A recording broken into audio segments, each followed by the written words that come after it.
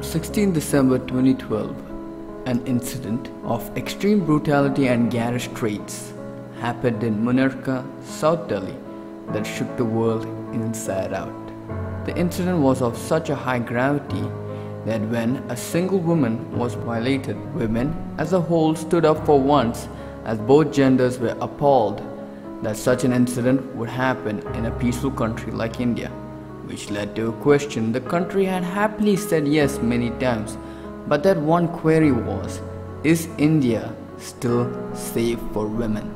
The incident, even though was tried by many people to be hushed, soon grew into an international outcry, waking up more women to empower themselves to stand up against archaic men who wants to keep women far from progressing forward into the future like men. This is done by scarring women emotionally and physically so they'll refrain from exercising their own freedom due to fear. The incident was not a simple one, as the crime was calculated, cold, brutal, and disgusting. A crime which is used to snuff out women who wants to walk the path into the future independently and not cowering under a man. Yes, rape was the incident, rape was the crime, and rape is the weapon. The weapon used by men who don't want to see women progress. Existing even in the ancient times in big empires like Rome, rape is defined as a type of sexual assault usually involving sexual intercourse or other forms of sexual penetration carried out against the person's consent. Rank number 4 in the list of most rapes in the world. India is known as a country of progress which respects women. Hence, it should not be nowhere near the top 10 of this list, making us wonder why is rape such a common thing in India? What happens if there is a fake claim of rape? How can you protect people from the abuse of law? With so many questions, we decided to interview Advocate K. Kumar Nair. Having more than 20 years of law experience in handling various cases, Advocate K. Kumar Nair surely can answer all our questions based on the topic of rape in a very accurate and objective manner of fashion. Hence, we decided to interview him. Okay. So, what are your thoughts on rape? Rape is one of the most heinous crimes in India. Not in India, in the world. It is a crime against the humanity. Yes, it is. It has to be condemned because uh, it is the most uh, heinous crime which uh, uh, India faces at present. So, as far as I am concerned, I hate that uh, as if as, as, as a most heinous crime in the so- against the society, not against a person. Say crime against the society. According to you, why is India considered as a rape capital? How did it become that? Because uh, our social culture is that uh, uh, women must be respected. Hmm. So when there is a change in that, uh, our old thinking or thoughts, of course it will be considered as a crime against the whole nation. So the capital city that is Delhi is rep- the way so many cases are reported from there. But I don't think that the capital city is the only place where Yeah, Jodhpur also. yes that that is not correct. Yeah. Everything in everywhere the, the same crime is uh, regularly committed by the uh, criminals. Criminals. So the entire society or the you human, uh, the human humanity, the entire human beings must be aware of this crime and it has to be prevented. Why, why is most of the rape cases go unreported? Because of the social stigma the women faces. Once a crime is reported, now the law is that even the name of the victim is not to be published, the photo is not to be published, and uh, everything must be kept in secret. On the base, the base of this is that a stigma will be put on the character and the, and the uh, lady victim. So that will be highly detrimental to her future life, future life. So most of the cases are uh, unreported because the, the, the victims are not coming forward. Now the position is changed. Now there are cases where most of the cases are reported, and in some years back, people are not the women are not uh, coming for reporting to the police or legal action is sought in such cases. So that is because of the stigma that they fear in the Which society will give them. So, marital rape is a thing. Marital rape is a thing. So, why in India is marital marital rape not a criminal offense? Supreme Court has discussed, uh, distinguished uh, the rape from uh, consensual relationship. If uh, sexual intercourse is with the consent of the wife, It's not rape. it's not rape. Yeah. If it is against, uh, suppose against uh, the rape, uh, not only rape, but uh, it is unnatural offense, Hmm. even oral sex Hmm. or anal sex, Hmm. without the consent of the wife, Hmm. that amounts to offense. Then that is not so. So, okay. Going back in time, according to you, in the 2012 gang rape, which actually was a, a nation, national outcry, was the juvenile in question got enough punishment for his actions? No, that I think that uh, due punishment is given to the Yeah, accused. but, but the juvenile was. Juvenile, uh, according to that, uh, on the see law, offence is defined under the Indian Penal Code. Hmm. Offence is any act or omission which is made punishable by any law for the time being in force. True. So at that time, the uh, the juvenile punishment is like that. Okay. Uh, so at that time. At that time, then the uh, so law is changed. Then the Now it is changed. Now it's much Now it is. This is one of the cases where the, the government has uh, government was prompted to uh, amend the law, Amend. and now the law is changed. So the offence uh, um, at, at that time, the the offence is the, in accordance with the law in force. Okay. So okay. So I think that uh, proper punishment is given to all the right. After that point of time. af- after that. Okay. So, who should change? The women or the men? Should women be blocked out from going out at night or from wearing whatever they want? Or should men learn how to be disciplined and should recognize women as their equal and not only as objects of sex? Both men and women must change. we must have a, we we the, the our social culture our culture indian culture is to respect women Hmm. So we must uh, follow our traditional cultural aspects with regard to these aspects. Now when we respect women this the intensity of the uh, these crimes will be very much reduced.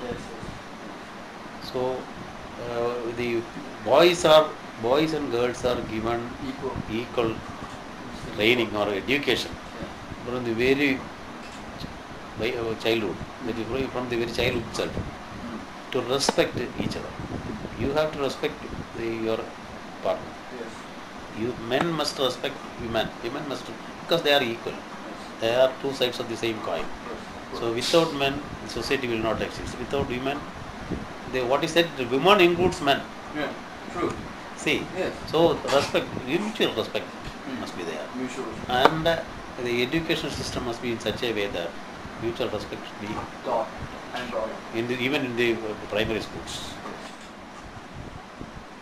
Why does the Indian law blatantly blame the men for rape while sometimes even women can rape? Because uh, there is no offence where a woman can commit rape. There's no offense. There is no there is no law in the in India where a woman can commit rape. But shouldn't equality be there? Like no. if The law, see, uh, uh, rape can be committed only by a man. only by A man can commit rape. A woman cannot commit rape. why don't why not if the woman abuses the man? Like for Uh, example. the, the, the abuse of law is very very common in at present. Common at present. but uh, that is to be viewed by the investigating agency properly. Right. Suppose a, a woman misuses the provision of law, and it is the investigating agency or the police or the investigating authority must uh, uh, Prove the man prove- not must to, uh, in, must uh, investigate thoroughly to find out whether there is any truth in the allegation. Right. So If a woman can very well trap a woman, a man, man, at any point. Yeah. No, the truth must be uh, uh, ascertained in the investigation. In- So it is the duty of the police or the investigating agency to find out the truth. Law is that 100% reliance is given to the words of the woman. A woman comes and says that I am being, I am raped by so and so. But then, shouldn't justice be blind and in front of justice, like a man and woman are considered to be equal? Uh, sorry, I can't. Like justice is simple, simplified as a woman holding scales blindfolded, and it's been said that in front of in, the, in front of justice, women and men uh, are considered equal, and there is nobody different. Yes. But yes. then- But, but the law says that a, a woman will not say lie by saying that I am, uh, I, I am raped. Women won't say a lot. Lie. Suppose she says lies. Okay. That is the duty of the investigating officer to find out the truth. Okay, that's the duty of the investigator. Of course, the police must investigate and find out whether there is any truth in the allegation Okay. or this law is being misused for the purpose of trapping this innocent woman. Yeah. So there are cases where innocent men are being trapped by the unscrupulous women. women. So uh, that is a factor which has to be ascertained by the Investigating. investigating agency. So, according to you, when is justice served to the raped?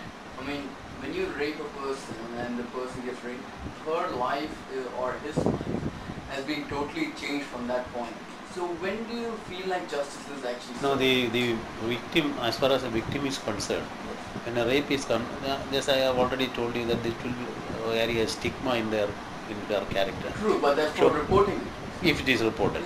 So she must be properly compensated. She must be proper. She must be properly comp. uh, Adequate punishment should, must be given to the the culprit, the accused. Yes. At the same time, adequate compensation must also be given to the Woman, To the victim. to the victim, for the losses she sustained, for, as a compensation. What about if the man is being trapped by the woman, telling that she he raped her, but actually nothing happened? Of course. What kind of compensation should be given? Oh, no, no. So there are provisions in the Act Okay. uh, where uh, frivolous complaints, complainants can be punished, or, pro, or proceedings against uh, frivolous complainants may be initiated. So in such cases, opinion is that proper legal action must be taken against such People who falsely accused. faults.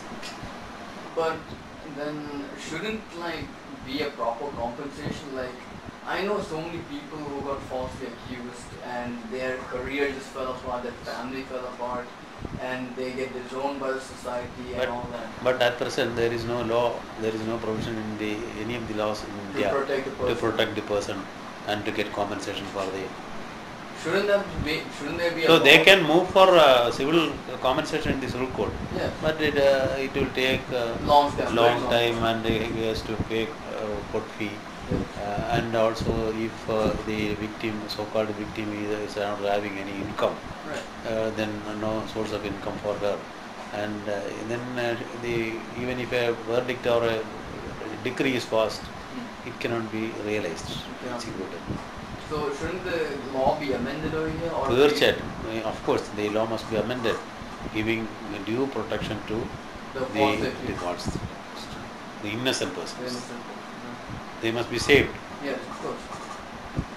So instead of hanging the rapist, why not remove his privileges and allow to teach him to teach him a It's lesson? a barbarous type of punishment. But isn't him doing a No, rape? that, uh, I don't think that the hanging also is now a, a, a, a topic for discussion whether hanging should be continued or not. people But but uh, the, if uh, the privilege of is removed, the privilege of the man, human being, the manship yeah, uh, is removed. yeah. That is more barbarous type.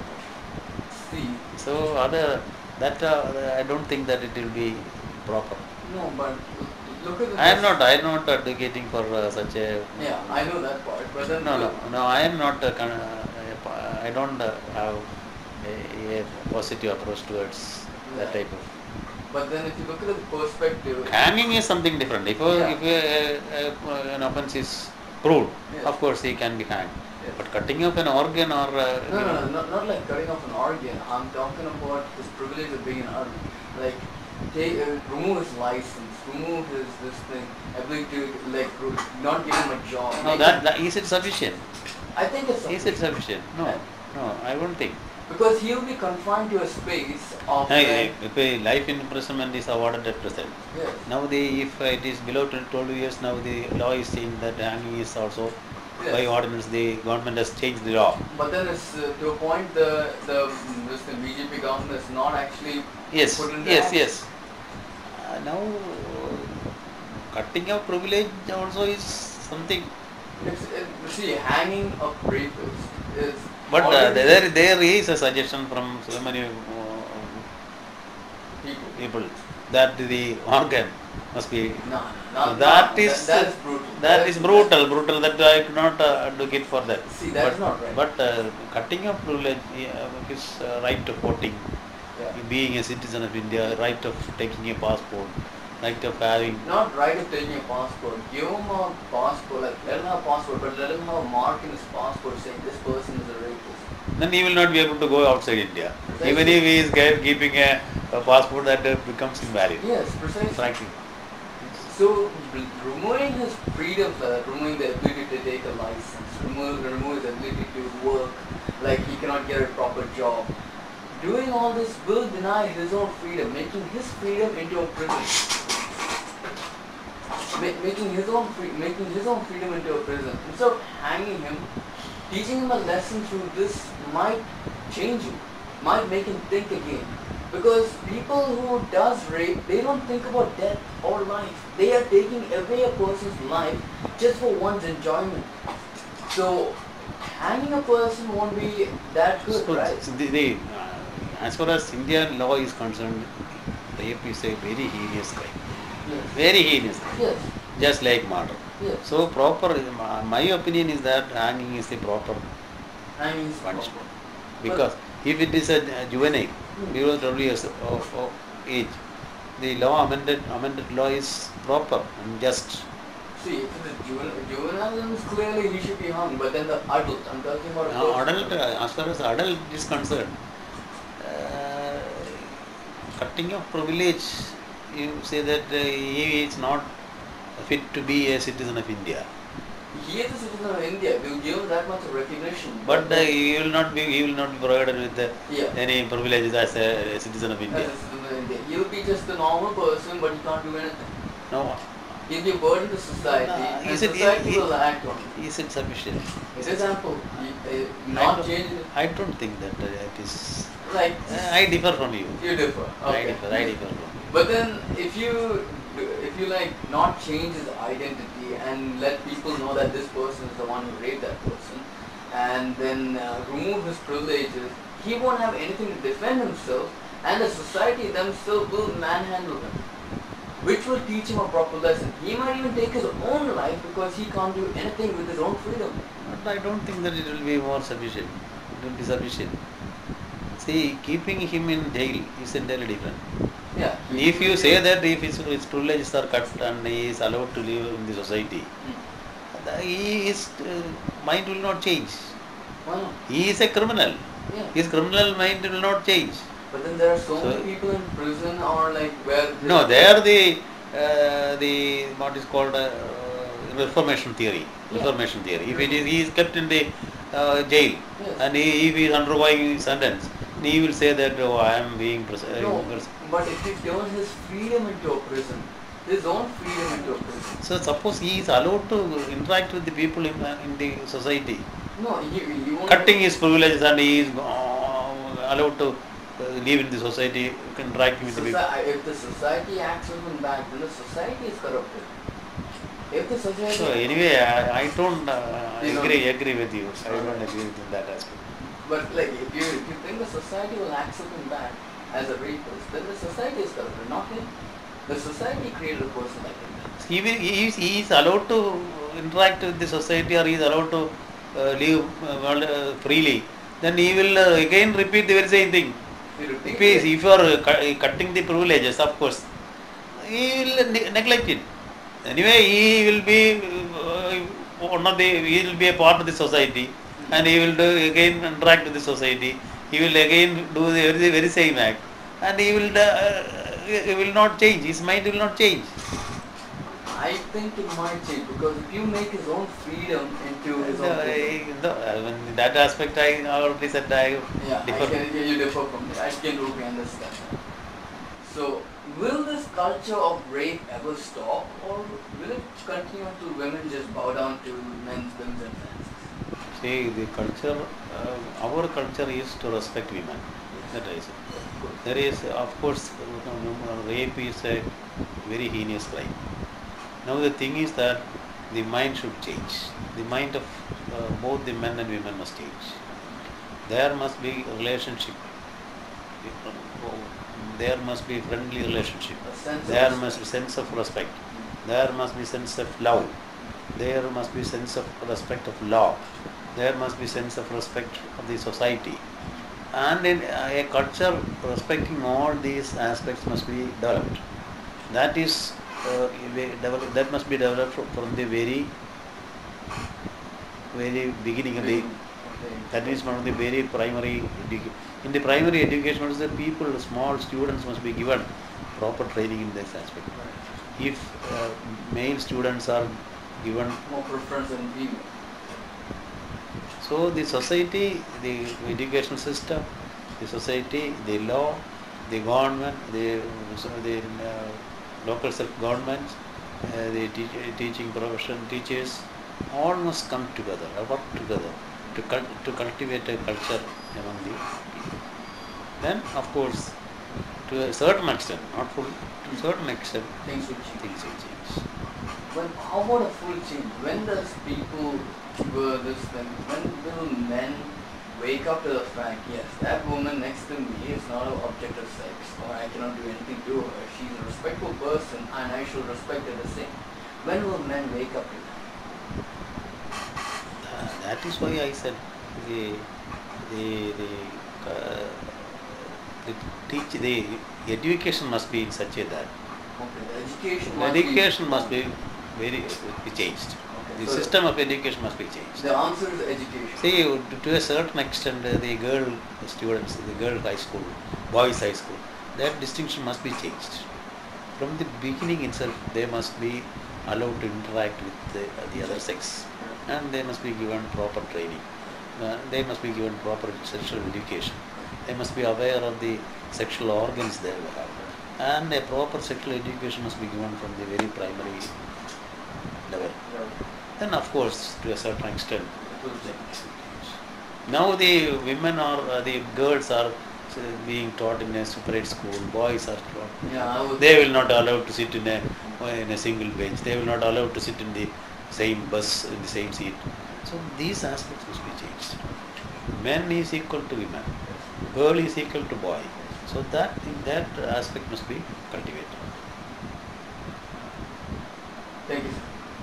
After that enlightening interview, we decided to hit the household for a public opinion upon this sensitive matter. Unfortunately, we couldn't get a person who speaks fluent English, hence, there's gonna be a translation in the audio itself.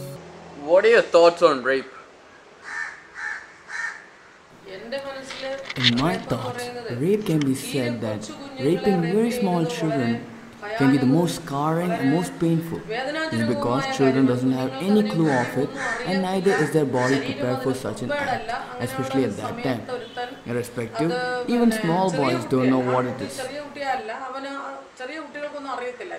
But if you're looking at 12 or 13 years above, or pretty much anyone who knows or even adults who knows about it and goes about raping someone, else, they must be given an appropriate punishment for their acts. This is because they don't have the right to rape small children. It is just like a flower before it opens up. And the act of rape is like if someone pulls the bud out and destroys it, which no one has any right to do. God won't support it, and neither will the people, because you're ruining the psychological state of the child as he or she will also feel pain from the society. Then he or she doesn't even have a life due to the emotion of revenge. After that point, his or her life is over. Will always haunt him or her in their heart over and over again. He or she will even start hating to see people or even to interact with people. His or her psychological balance would change. His or her relatives or families will be ashamed in front of the society and they will not be able to hold in front of the society. These are the passive pains of rape. Hence, you should give proper punishment. This should be done without dragging the case to a point where after some time the representatives of the victim will be pacified which will lead to the case being erased, which also lead the perpetrator to commit more heinous crimes such as rape, which should not be allowed. Hence, the one who has done the wrong, he should be given proper punishment according to the gravity of the case. Who should be who who should be blamed? The woman or the boy? Within this case, if it's small children, then it's the men who should face punishment. They should be blamed too. This is because if you give a kid a sweet without knowing him or if you try to influence him with some item and then threaten him at his weakest moment and make him plead, this is also done by men, hence you should punish men. What would be the most apt punishment for the rapist and the most apt compensation for the raped? The one who rapes must be dealt in a very serious manner, so that he will not repeat the mistake he has done and neither should make other people follow his path. This is because if a rape happens here, and the government has already told now that anybody who gets raped under the age of 12 must be condemned to death. Hence, with such a punishment in place, and if it punishes four or five individuals, then according to my outlook, others will refrain from it and will look at children as their own children or as their own brothers. In the second part for rape. The compensation for it to the girl, however she may suffer. The girl's life is over. The parents shame will be stripped from them. They become helpless. But if they are rich, then they will respond accordingly, but if they are poor, they will be threatened or something else will happen to them and they can't go for a case, or else they need a lot of financial help to receive legal help. Then at that time, they will just abandon the case. Hence, they should be still given a proper compensation. They should be given a good compensation because that kid, however long, however long she's gonna live, you have kind of made her lose her life. So, so you should give her give a life compensation which ensures no hassle for the victim, in my opinion. How can you prevent rape? Preventive? How? I'm not sure about that because I can explain it as much as I don't know.